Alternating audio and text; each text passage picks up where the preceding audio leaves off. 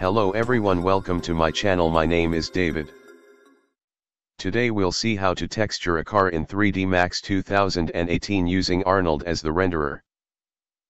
For this we'll be needing few set of files, links to the download are in the description.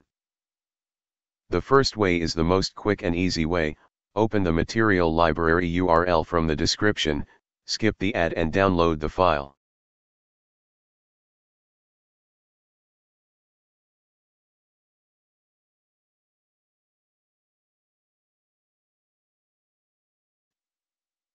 After downloading you can extract the file to the desired location.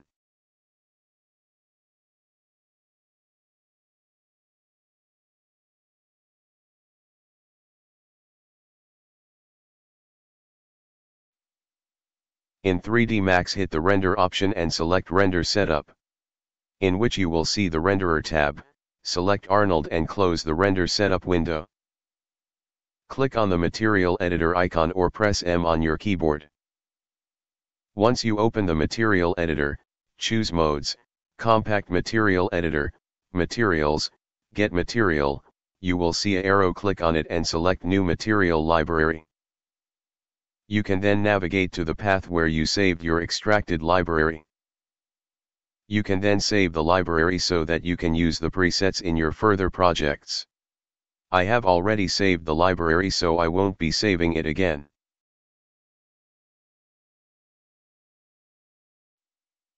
Now let's start our project, as you can see I have created a simple studio environment with my car, few lights and a backdrop.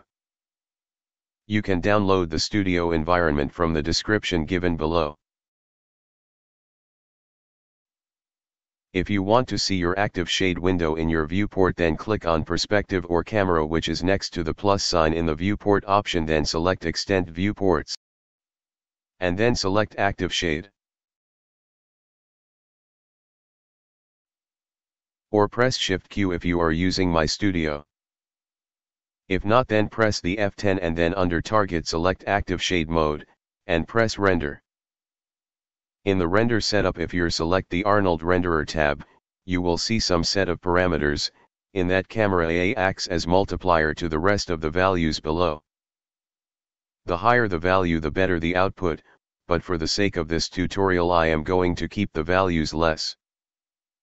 Once your scene is ready open the material editor and select the 2 car paint shader from the MtoA material library and double click it, then assign the shader to car body.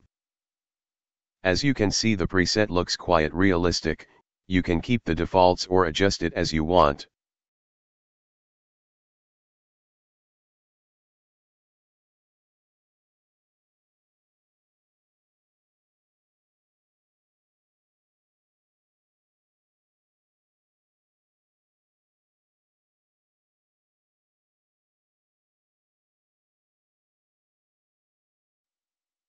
Now we will give it a production render test, for that press F10 and change the target, from active shade mode to production mode.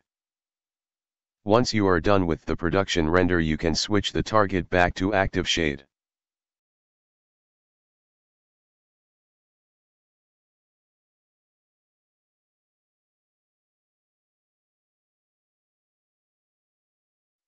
So this is how it look. Now we will see another preset from the library named Car Paint, apply the shader to the car body.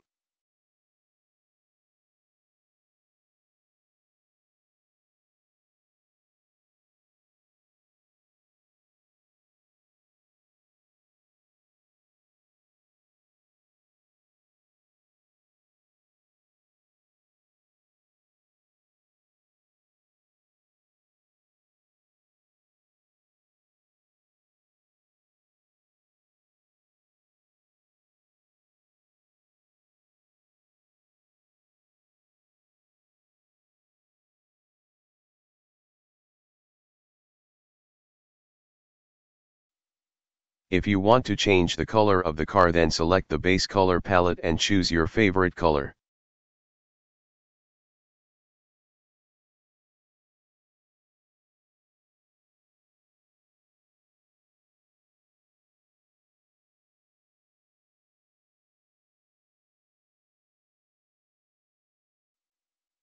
Now we will give it a production render test and see how it looks.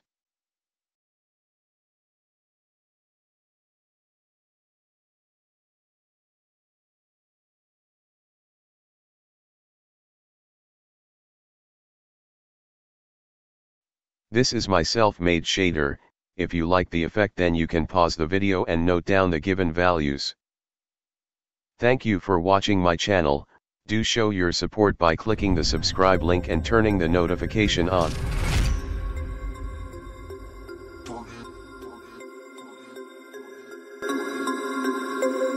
We to turn it on.